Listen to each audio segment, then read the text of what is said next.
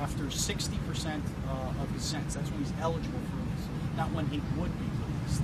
That's up to the Board of uh, Pardons and Paroles after a full hearing where the victim's family would be allowed to uh, uh, be heard. So uh, to say that he's getting out in that uh, period of time, I think, as the judge outlined, is not accurate.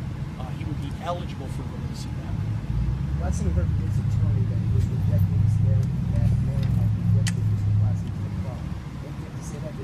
that hold this narrative that has to this? uh, They have their narrative, and the state was ready to uh, proceed at trial, and that would be one of uh, uh, the areas that the state would have uh, uh, presented as a possible motive. Again, I've never talked to him, so I couldn't say uh, what they would say to that, but there was evidence to reflect that, and the state would have proceeded with that as a possible motive should this have been going to trial.